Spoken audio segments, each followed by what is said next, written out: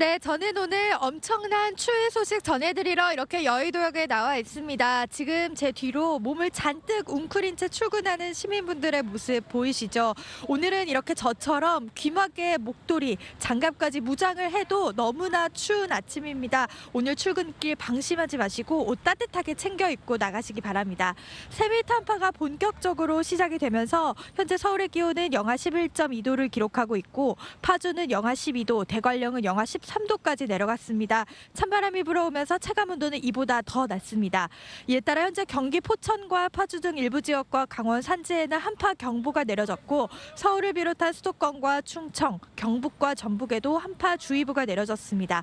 여기에 대기까지 건조합니다. 강원과 부산, 울산 등의 지역에는 건조 경보가 내려졌는데요. 각종 화재 사고에도 유의하시기 바랍니다. 오늘 추위 속에 공기는 깨끗하겠고요. 호남 서해안과 제주에는 밤부터 많은 눈이 내리면서 내일까지 많은 눈이 내리겠습니다. 오늘 낮 기온은 서울이 영하 6도에 머물겠고 전주 영하 2도, 광주 영하 1도, 부산 3도에 머물겠습니다. 내일도 충청 이남 지역에 눈 소식이 있고요. 한파는 주말에도 계속 이어지겠습니다. 지금까지 여의도역에서 전소영이었습니다.